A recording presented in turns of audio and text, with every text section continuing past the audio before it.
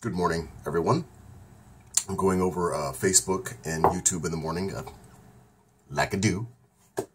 And uh, I came across uh, an, article that uh, stereo does not like the phone sitting on top of it.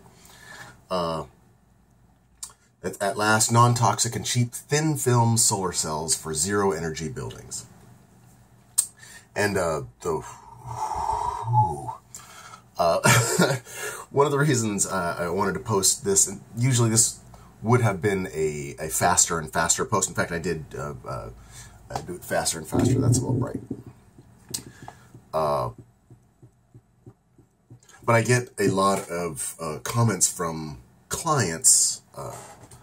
I, I, talk about solar energy and electric cars and the electrification of everything and how fantastic it is. And almost without fail, uh, and usually from conservatives that uh, see the negatives and everything, or see the see the dangers and everything. They're, they're worried about the dangers. Worried about the dangers of batteries and the toxic. Uh, how toxic, man, that's really bugging me. Let's uh, see if I can fix this it uh, doesn't like stereo. Um,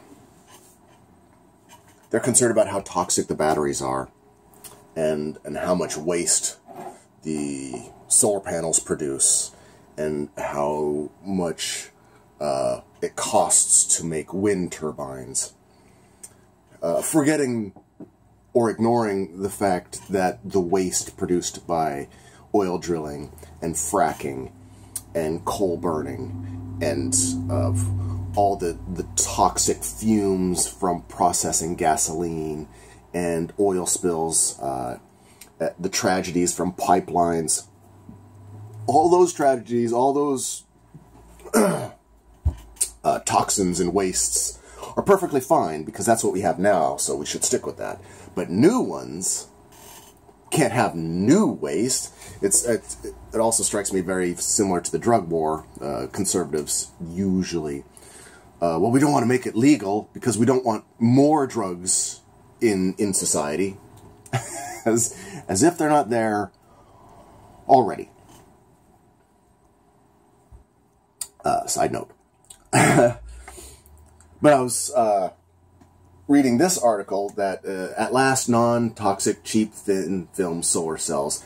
And and in my mind that's always kind of been and I, I need to start expressing that more uh, as technology moves forward uh, there really is no doubt that we're going to get more efficient at the electrification of our society, more efficient at battery technology, more efficient at solar cell technology all these things are going to become more efficient and then unlike gas and coal and fossil fuels once you produce the solar panel uh, you essentially get free energy.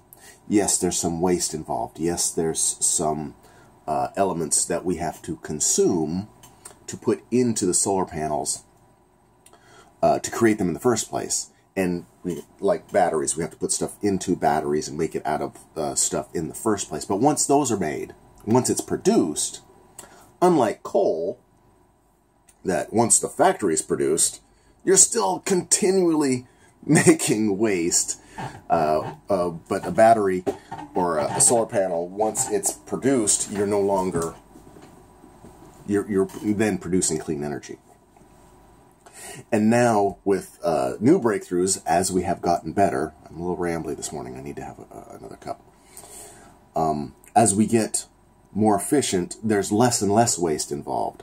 Unlike coal, uh, fossil fuels, where there is no such thing as clean coal. There, there's uh, you can mitigate some of it, uh, but the cost, the cost of mitigating or making clean coal uh, is way more than putting in, say, a field of wind turbines or a a field of solar panels.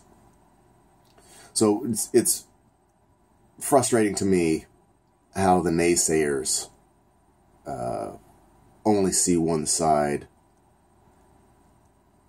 and and just seem to ignore all the negatives about uh,